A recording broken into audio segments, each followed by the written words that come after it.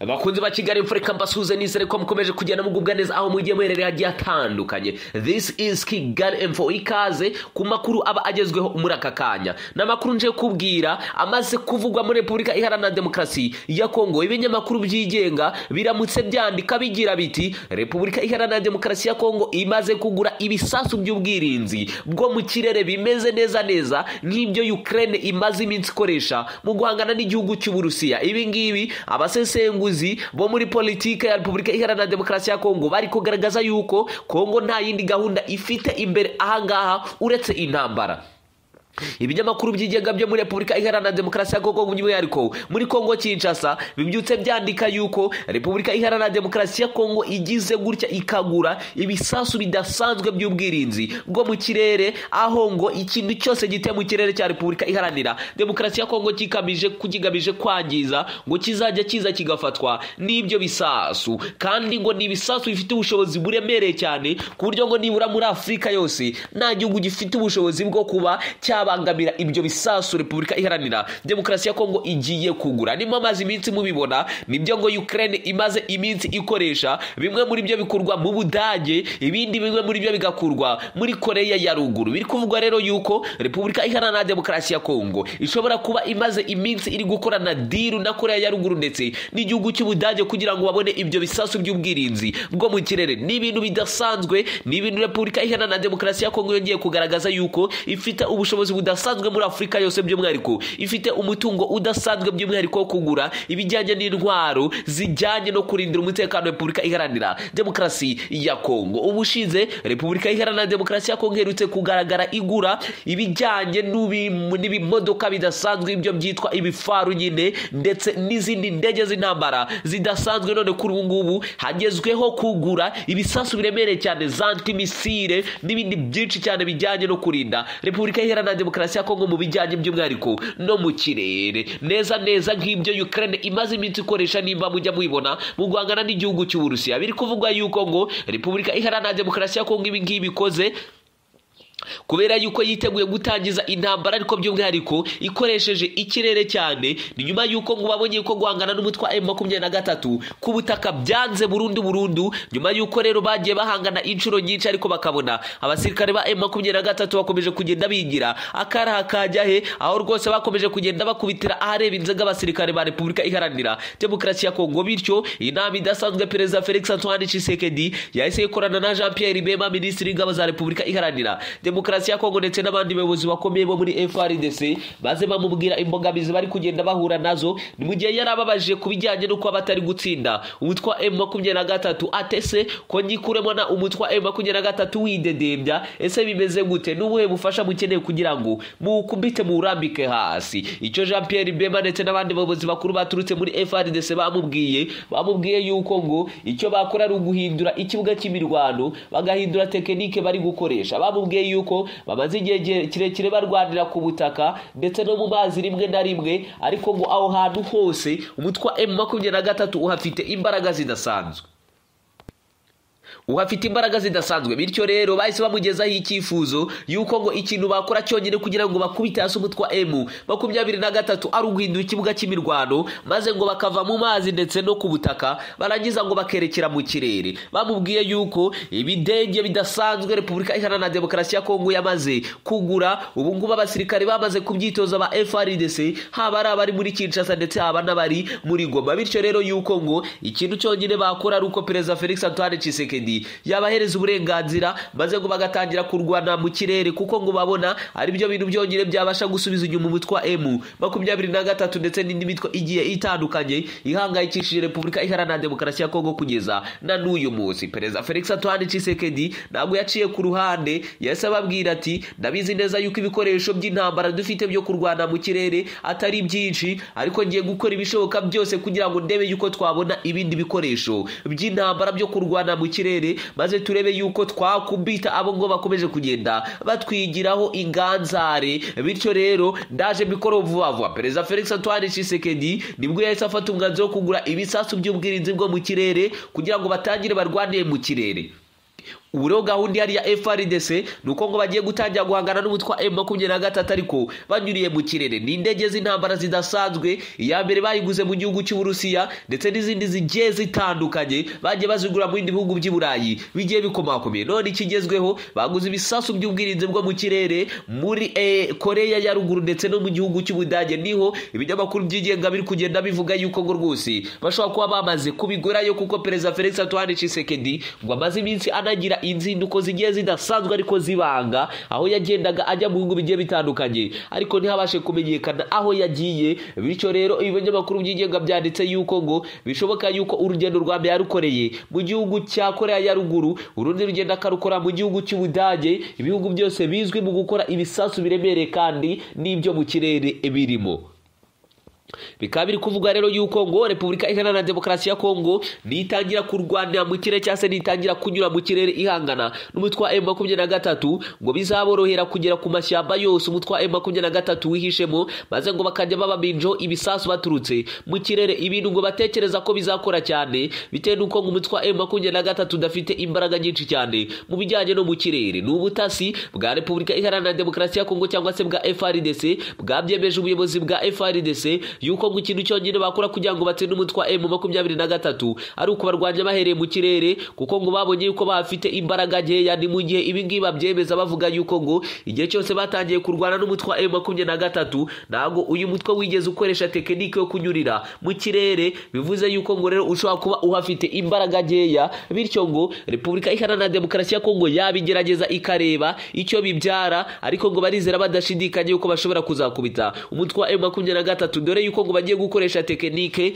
yo kuzajya bagurutsa indege zidasanzwe bafite harimo na za drone zigenda zidafite abapilote maze ngo bakazigurutsa hejuru y'amashyamba. Umutwe emu makumyabiri na gatatu uba wihishemo barangiza ngo bakawumenaho ibisasu bidasanzwe bityo ngo bize yuko ngo iyo tekinike izakunda maze bagahita batsinda. Umutwe emu makumyabiri na gatatu burundu bikomeje kugenda bivuga ariko ku rundi ruhande yuko umutwe wa makumyabiri na gatatu nawo ushobora kuba hari ibindi bisasu wibitseho bidasanzwe yewe ngo bishobora kuba binameze nk'ibi ngibi neza neza. Repubulika iharanira demokarasi ya kongo iri kuvuga ko yaguze. Ibi ngibi byemejwe na bamwe mu basesenguzi mu bya politike bavuze yuko ngo umutwe wa makumyabiri na gatatu nawo ngo nawo ku bijyanye na diporomasi uba uri hejuru cyane. Bityo rero yuko ngo ushobora kuba utari bagiye kujya muri korea ndetse no mu budage kwirongera kuri ibyo bisasu. Bityo ngo repubulika iharanira demokarasi ya kongo ikaba icyo yise akabanga kagiye gutsinda. Umutwe wa makumyabiri na gatatu ahubwo ishobora gusanga uyu mutwe warayitanze kuzana ibyo bisasu by'ubwirinzi bwo mu kirere ahubwo ngo rwose ukaba wararangije no kubisetinga kera. Bityo rero ngo ibyo bitaga yuko ngo amavuta agiye kubyara ngo amata agiye kubyara amavuta ahubwo ngo baraza kwisanga ya mata yari agiye kubyara amavuta ahubwo abyaye amazi. Reka ngushimire ko wabanye nanjye muri aya makuru ngomeze kukwifuriza kugenda ugira ibihe byiza aho ugiye uherereye. Amakuru ya kigali info nakagaruka tubonane. Dodi twatangira.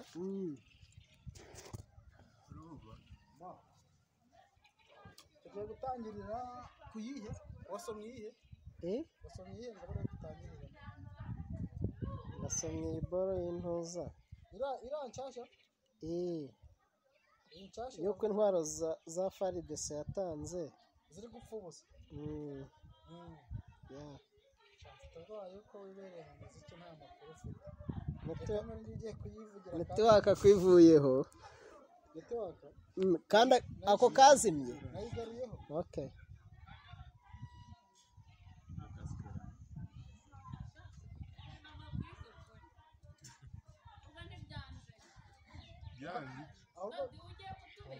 Birakunze aya ntabwo tugiye mugiye kuvuga ibiki noneho tugiye kuvuga ibintu bijyanye n'imirire n'iminywere n'ibyo kurya waba usore yazimirira icyayi yishwe n'inzara. niko inzara yaramwishe. Umara tugiye kuvuga ku bintu byiza byo kurya no kunywa. Areba nk'umuntu utabizi. Reka reka. Dodi wi dutangire. Nk'ubu imvura ikaba uretse nze kunoza mwana ya boro ntiragaruka hari telefone ifite ikibazo ngo nanjye njye gusesengura ngo nanjye ngende nsesengura niba ushaka- niba ushaka kurya imigeri y'inyuma gutya jya icupa niba ushaka imigeri ijyayo hari akandi kansekeje urumva imodoka yapfuye bagiye kuyikora ngo gukuramo umu- umuwayo ugashyiramo ngiri na karidinasi cyane cyane karidinali niyo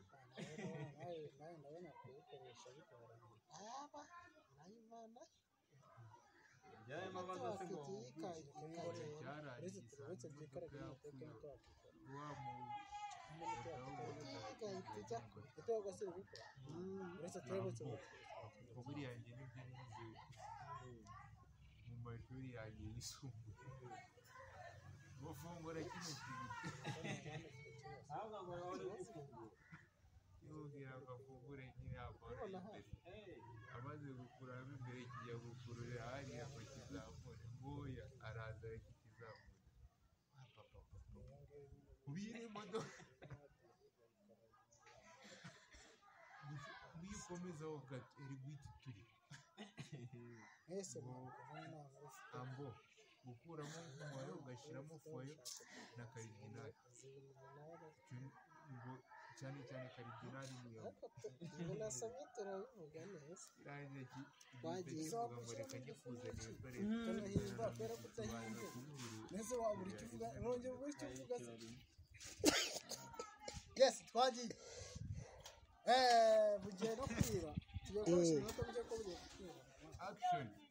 Ah ntabwo ari action. None uyu munsi gitwagiye gitwaye ede wabisomye nabisomye none oya nta kibazo ntangire se watangira amani imiziki yo yakora copyright imana amajwi yo nta kibazo ariko imiziki yatwikira yagira uri uri tayari ma Mm, Eh? ya yes nk'uko bisanzwe ni kigali info kuri kamera za kigali info murabona umutumirwa twazanye ni dodi kirisi nk'ibisanzwe munamumenyereye dodi kirisi turagusuje? Murakoze cyane. Yego turakwakira rero. Ni amakuru akomeye cyane ku mutekano na politiki nk'uko dusanzwe tubigarukaho umunsi ku wundi. Reka tumanuke hariya ku butaka bwa repubulika iharanira demokarasi ya kongo twinjire kuri ino nkuru ivuga yuko intwaro frdc yakomeje kugenda ihereza imitwe nka wazarendo. Bikomeje kugenda bivugwa n'abasesenguzi batandukanye yuko izi ntwaro zahawe Wazale- wazalendo kugira ngo ihangane n'umutwe emu makumyabiri na gatatu zikomeje kuba byafatwa nk'aho ziri gupfa ubusa. Wowe urabivugaho iki ni ayahe makuru wadusangiza ku bigendanye no kuri iyi mirwano ihanganishije ingabo za FARDC z'igihugu cya repubulika na demokarasi ya kongo n'umutwe wa emu makumyabiri na gatatu. Aha murakoze cyane. Icyo nabivugaho ni ugucika intege.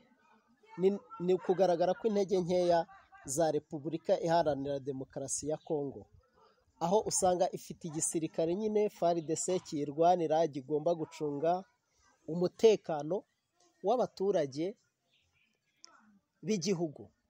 Ariko kugera ahantu igisirikare cya leta cyifashisha iyindi mitwe ikirwanya kugira ngo igifashe kurwanya uwundi mwanzi uri kurwanya leta. Harimo kugaragara ko gucika in- intege k'ubuyobozi bwa repubulika iharanira demokarasi ya kongo n'igisirikare cyayo. Nicyo kintu nabivugaho kuko urumva yuko kugira ngo leta nyirizina ifate igisirikare cyayo nirangiza igende ishake undi mutwe runaka mu ishyamba uri kwihishahisha uri kurwanya urebye uri kuyirwanya.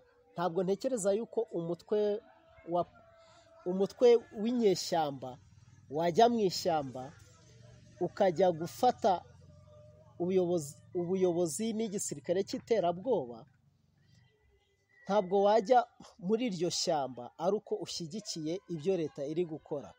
Urumva harimo gucika intege kwa repubulika iharanira demokarasi ya kongo aho igeze ishaka ubufasha bwo kugira ngo yifashishe n'iyindi mitwe yitwaza intwaro ijya kuyifasha kurwanya M23. Ni amakuru menshi ni amakuru menshi akomeje kugenda avugwa. Izi nye- aba barwanyi biswe wazarendo ni bamwe mu baturage b'abasivili bo muri leta ya kongo bahawe ariko ngo bitwa ngo ni abakunda igihugu bahawe ibikoresho na leta ya kongo ndetse baha- bahabwa imyambaro intwaro n'ibindi bikoresho bashobora kwifashisha mu guhangana n'umutwe wa makumyabiri na gatatu. Ndetse n'ikindi leta ya kongo yo ivuga yuko wazarendo ifasha leta mu kurinda ubusugire bw'igihugu ndetse no kurinda umutekano w'abaturage. Ariko mu by'ukuri abaturage bo ntabwo ariko bari kubibona. Wowe ku ruhande rwawe wowe urabibona gute? Kuba leta nk'igihugu gifata intwaro kikaziha abasivili kugira ngo abe barinda abaturage bagenzi babo. Mu gihe kandi iki gihugu gifite igisirikare gifite n'igipolisi. Wowe ubibona gute? Mvuze yuko mbibona mu buryo mu buryo abaturage babibonamo nta kosa naba nkoze.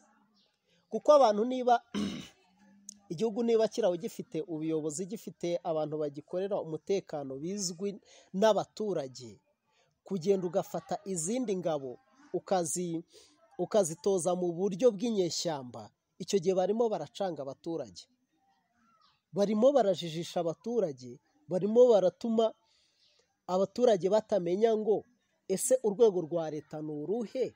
Urwego rw'abarwanya abaturage ba leta ni uruhe? Akaba ariyo mpamvu ndimo kuvuga nti repubulika iharanira demokarasi ya kongo irimo irafata nabi abaturage bayo irimo iraba irimo iratuma bahuzagurika. Ni amakosa manini iri gukora. Eee kuki ah, hari hari bamwe mu baturage hariya muri repubulika iharanira demokarasi ya kongo batangiye gusaba leta ko yagakwiriye kuba ifata zino ntwaro yahaye zino nsoresore kuko akenshi ni urubyiruko rwahawe zino ntwaro kugira ngo ngo bafashe igisirikare cya FRDC cya Kongo kugira ngo bahangane n'umutwe wa makumyabiri na gatatu. Ariko abaturage benshi mu materitwari atandukanye muri repubulika iharanira demokarasi ya kongo batangiye gusaba leta ko yakabaye yaka runo rubyiruko zino ntwaro n'ibi bikoresho kugira ngo ah, bareke gukomeza kubikoresha kuko byagaragaye nk'ejo bundi goma aho habaye ubwicanyi bw'indengakamere ku baturage bwakozwe kandi n'izi inyeshyamba bise wazarendo na- n'abiswe ab- abakunda igihugu ariko mu by'ukuri bagaragaye nk'inyeshyamba kuko nibo biraye mu baturage barabica ndetse bafatanyije n'igisirikare cya leta. Mu by'ukuri nkawe nk'umuntu ubikurikiranira hafi ukurikirana amakuru agendanye n'umutekano wa politiki kuri izi nkuru tugenda dutangaza wowe ubibona gute ubisesengura gute? Ese wowe ushyigikiye yuko leta ya kongo ikomeza guha abaturage intwaro cyangwa se yagakwiriye kuba izibaka ni uruhe ruhande uhagazeho ubibona gute? Ese ubundi yigeze haba- habaho dekararasiyo? Wazarendo yigeze ikorerwa dekararasiyo ngo imenyeshwe abaturage aha nakomeje kubireba nsanga wazarendo ahantu iri no kwibasira abaturage ni mu gace ka teritwari ya gurupoma ya misisi. Yego masisi yego. Ririmo kugenda ni ho iyi wazarendo iri kugenda ikica abaturage ikananirwa inshingano yahawe na leta iharanira demokarasi ya ariko kongo nanone wibuke yuko mu by'ukuri uyu mutwe wa wazarendo mu by'ukuri si igisirikare si n'igipolisi ahubwo ni insoresore zitatojwe iyo mirimo yo kurinda abaturage ahubwo zahawe in- intwaro na leta kugira ngo ngo zibe zafasha igisirikare cya leta kuba zarinda umutekano w'abaturage. Ariko abaturage bo bagakomeza kuvuga ko ahubwo izi nyeshyamba cyangwa se izo nsoresore ari zo ahubwo ziri guhungabanya umutekano zitwaje ibyo bikoresho bya gisirikare zahawe. None se izo nsoresore ahantu mfitiye ikibazo ikibazo mfite ngifitanye na kongo n'ubuyobozi bwa kongo izo nsoresore yarazimenyekanishije izereka abaturage ngo aba bantu ni abantu bakwiriye kurinda umutekano wanyu. Niba yarazimenyekanishije irimo iragaragaza wikinesi zo kuba igisirikare uyu munsi kitari gukora. Kubera kitari gufata izo izo nsoresore basi ngo zigende zishyire mu gisirikare cyangwa kongo bagende bafatikanye bafatanye bahuze imbaraga barwanye umutwe w'iterabwoba wa M23 nk'umusesenguzi harimo gucanga abaturage na ziriya nsoresore zishobora kugenderega zikajyanayo inzara urumva? Insoresore ziragiye icya mbere nta masezerano wenda ahari agaragaza uburyo ki izo nsoresore zizarwanya emuventura hanyuma nizirangiza zihembwe umushahara uzwi. Ni abakunda igihugu, ariko se barakunda igihugu mu buhe buryo? Abo bantu bafite inzara bakeneye kurya. ariko nyine gukunda igihugu ntabwo bivuze ngo urakunda igihugu gutyo ngo utahire aho ngaho. Abo bantu bakeneye ku- barihemba. Bari gukoresha iturufu yo kwihemba. Baragenda bakica abaturage barangiza Bakabasahura. bakabiba. Eh, ntabwo gukunda igihugu bihagije. Ahubwo hagomba kugaragazwa abo bantu batojwe izihe ndangagaciro zigomba kugenga umusirikare w'igihugu. Barimo barajyana ubumayibobo mu baturage barangiza bakabukoreshamo. Mu by'ukuri ntabwo aba bantu ari abasirikare. Abo bantu ntabwo ari abasirikare. Nta mirongo ya gisirikare igaragara bari kugenderamo. Birumvikana. Uwo muntu rero nagenda akagenda akikorera ibyo ashaka nta kizabuza umuturage kubona yuko arimo guhohoterwa na leta. Uwo muturage arimo arahohoterwa na leta arimo arahohoterwa n'intumwa za leta ya repubulika iharanira demokarasi ya kongo twabyita kunanirwa k'ubuyobozi waba utegereje iki kindi kihe urashingira ku ki? Ndashingira kuba leta iharanira demokarasi ya kongo itizera igisirikare cyayo itizera izindi nzego igira zicunga umutekano itizera polisi yayo itizera n'ibindi bice bizwi ahubwo ikagenda igashaka akandi gatwe kari aho ngaho aho ngaho. Mu baturage. ari nawe ubikora byaba byumvikana yuko ni ikosa. Abantu batazwi urabazanye ura- baragiye bagiye mu baturage bagiye kubacungira umutekano. Eh? aho kuwucunga ahubwo bagize ibiki? Barawangije. Harimo kunanirwa kwa kongo nifata igisirikare cyayo igihe imirongo ikwiriye ntekereza yuko n'iyo wazarendo ntabwo yatojwe bihagije. Niba itaranatojwe bihagije ifite abantu bayikurikirana bayiha imyitozo ariko iyo myitozo ihari iri imfomo ntabwo ari fomo. Irimo iratangwa mu gihe kitari ngombwa. Ntabwo wafatiraho amasomo aka kanya ngo ugende ugende ujye kureyapurayinga atararangira. Ayo ni amakosa yose ari gukorwa na leta ya kongo wibuke ko leta ya kongo iri kwirwanaho cyane cyane yuko mu mpera z'uyu mwaka mu kwezi kwa cumi n'abiri hari amatora y'umukuru w'igihugu.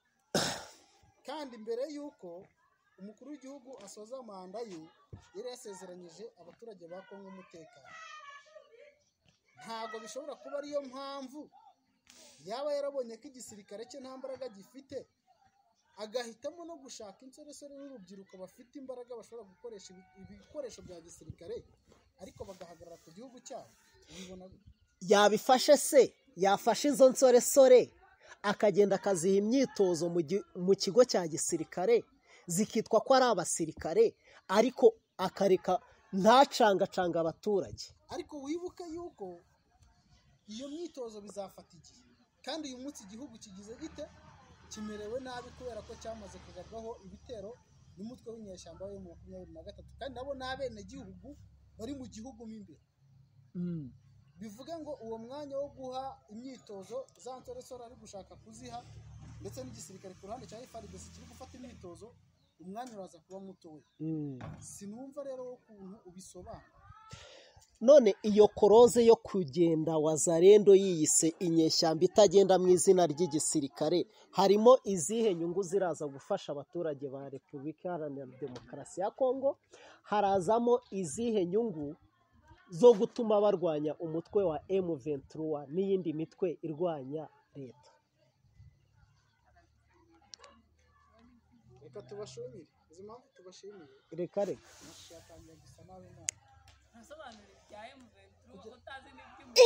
Ndi umusirikare wa burundu.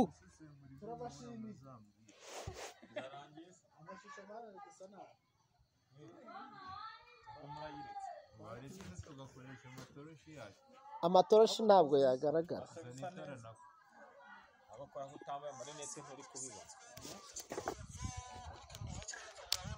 Ikiganiro ntabwo cyari cyoroshye. Ariko nyine hari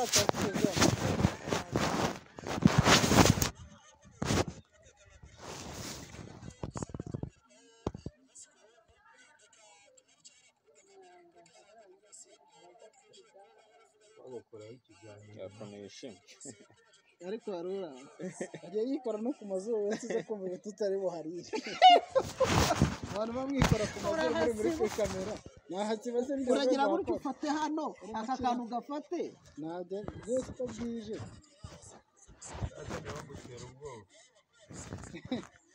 wapi ni ubwa mbere se bamututse amaze kubimenyera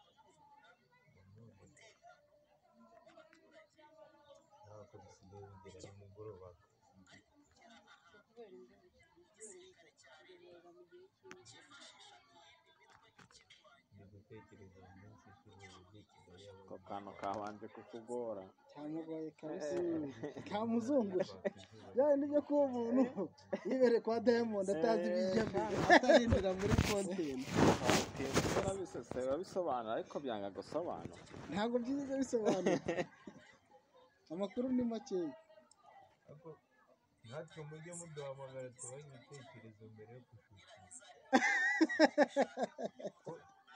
nkange iriya ntambara narayikurikiye warayikurikira ufiteho amakuru se?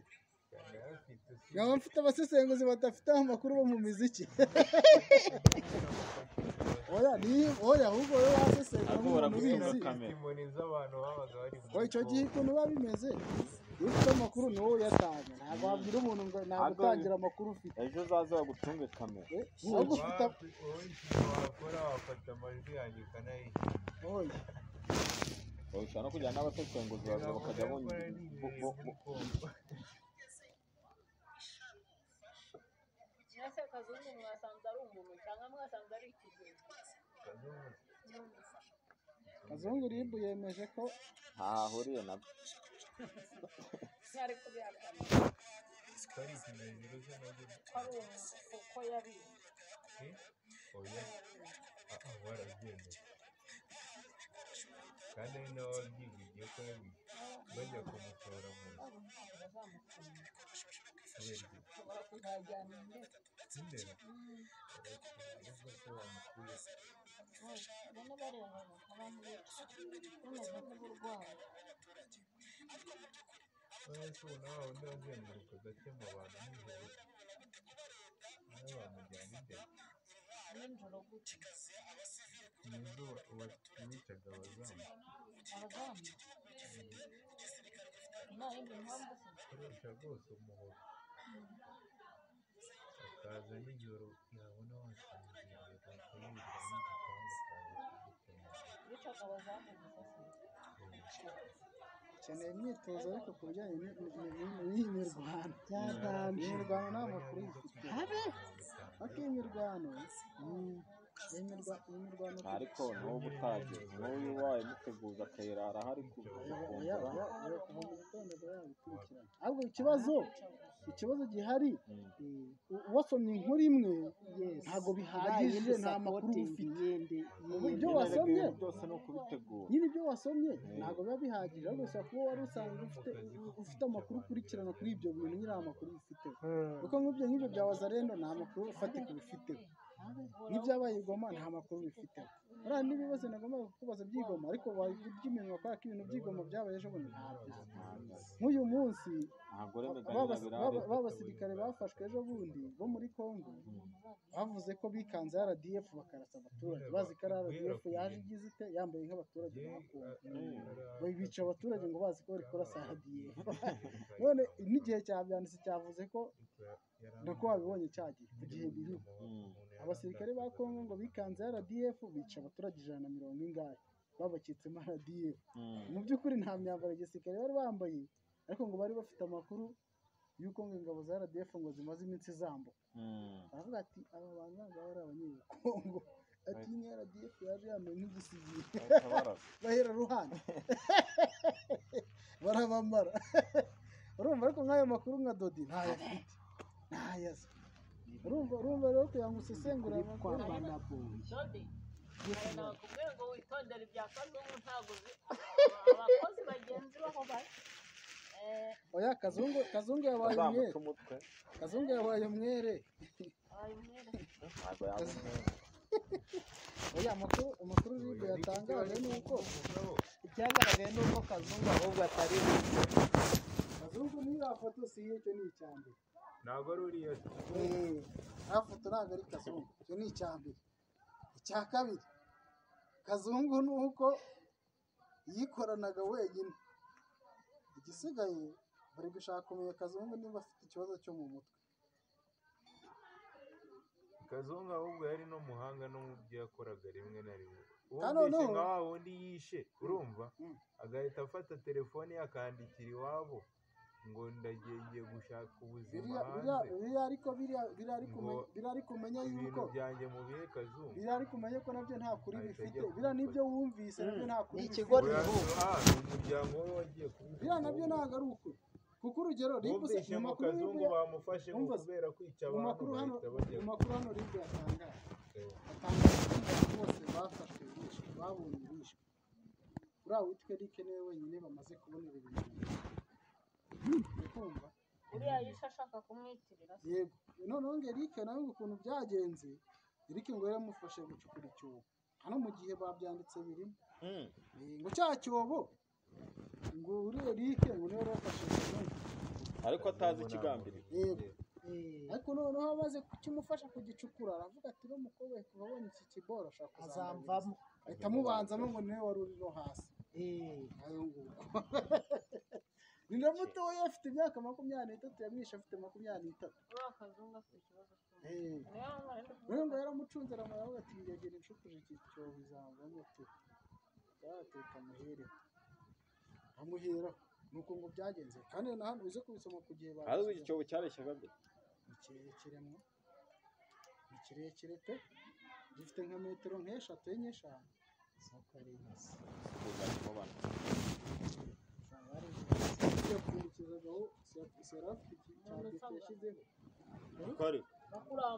yatwikururaga wazi ko yari yaratabye burundu? Ubwo numvaga nyine ari kirekire. njye numvaga ari kirekire. Yashyiragaho umuntu akarenzaho itaka. Yarakoze iki gipfundikizo cya beto. We tekinike yakoreshaga yakusozaga agahita agushyiramo agatekeraho beto ye. Yasoza n'undi akaza agapfundura nawe akakohereza. Mushime imana kuba mwararokotse Twese kuba atarababitse ahubwo ntawe mwenda gusa ni we mwari ni we wari guhura n'ibibazo.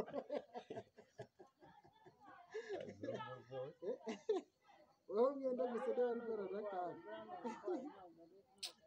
buriya se ari kunjyana we ngiye gukora se ashaka ibyangombwa. wabaye inshuti yawe. Mwasangiye. Mwasangiye Mbese mugamu. hari umuntu se mbese bariya bose hari uwari uzi icyo ari rero gukora ntabwo kazungu twari kubera iki? Nta byashoboka ntawe yigeze abwira ububi byashoboka cyane kuko nta Oya, muntu kuko wabikeneye. yanamujyaniwe ntamugirire nabi. Mm. ntabwo erega abantu bose bagize iwe yabizi hari abo yica. Ca, ntabwo wamenya ukuntu yabipanze kabisa.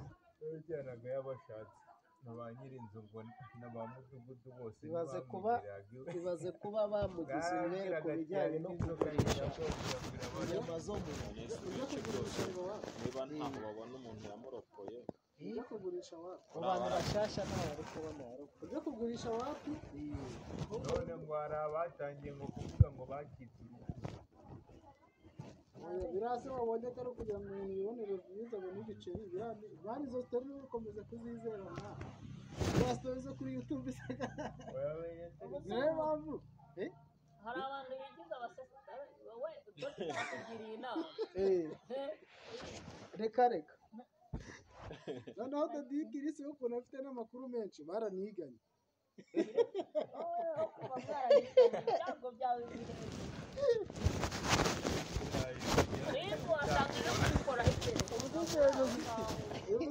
wasanga umuherwa mugendaho yiganye na kazungu Wamuneke wasange nawe ari kuba wenyine. baze mu nzu ya padiri. Ese mwigana wa mugani wabonaga imyitwarire yari iyihe ubwo bariganye yari umwana mwiza. Bariganye arumva. Igisigaye ni amakuru ribu ishobora kuza kumukuramo. Yari umwana mwiza. Eh, tubwira ntishakira gutubyuzi wa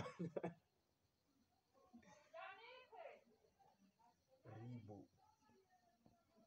ahora ni ziribu ukuntu ibaza ugatitira ugabuka kwica aka mwana uzi biriya bintu mwana ariko uzi ko nta kintu bajya bakubaza bataguha n'ingero bakakubwira ngo tariki izi n'izi ngo bivugwa yuko ukoze iki n'iki baba bashaka ibisubizo byinshi baba bashaka bivuga yuko utiriwe iwawe wari uri i kigali. Kandi ahantu wari uri habuze umuntu. Habuze umuntu. Wari uhari? Yego cyangwa oya ibisubizo byinshi baba bashaka Mm. yego cyangwa oya ntabwo yaza akakubwira ngo tubwire uko byagenze. Wenda ushobora kuvuga iyo yego agahita akubwira ngo ngaho tubwire muri make. Ariko ibyinshi baba bashaka ni yego cyangwa oya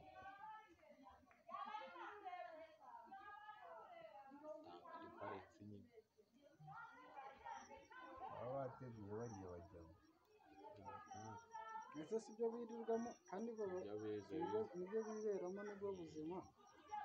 Urumva usanga bibacangira ariko ikintu kigeze kunkoma ni uburyo nabonye umumotari w'i kigali bashobora kuba na kimwe cya kabiri ari indekane ari iki? Ari leta. Cy'abamotari Eh, erega nibo bahura n'aba- n'abaturage cyane